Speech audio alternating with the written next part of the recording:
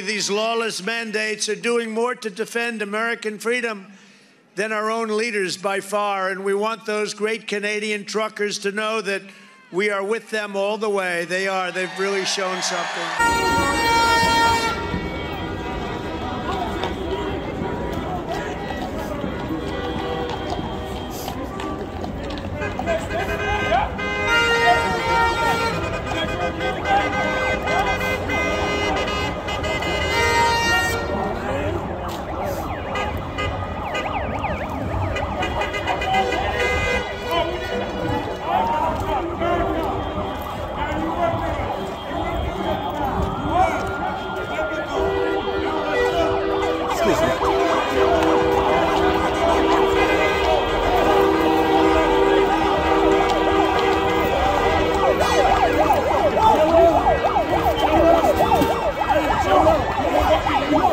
Back down! Stand down!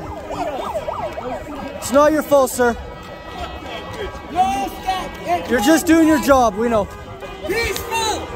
Peaceful! We're still our friends and neighbors! Not our friends, that's for sure.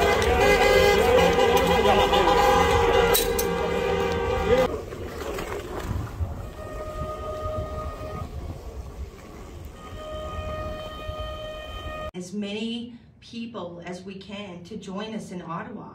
Bring your children, bring your families.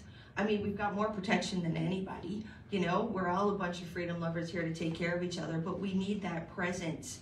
We need those eyes to help share the truth to the world. We need the support of the men and women that are in those trucks that are fighting for our freedom. Though I serve this country, and it has been an honor to do so, an absolute honor. Like many thousands of Canadians who choose body autonomy and pro-choice, I am unable to share in the same privileges now, like eating at a restaurant, going out in public to an event, or even traveling across provinces to see my child. This is happening to many others. These government traitors to freedom are suppressing the rights of the very people they claim to honor, and it made me sick to my stomach.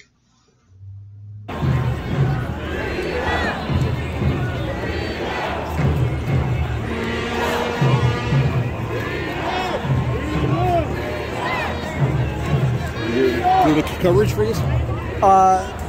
Alternative, just YouTube.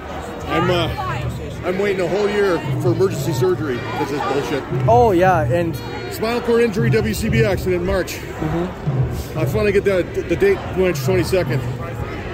But uh, two hour operation. I've gone from being tingly in the feet all the way up to my neck now. so you feel neglected. Damn right. It's disgusting, and I know what's going on with the administration. It's, you know, I know I know what's going on there. Uh, they turn any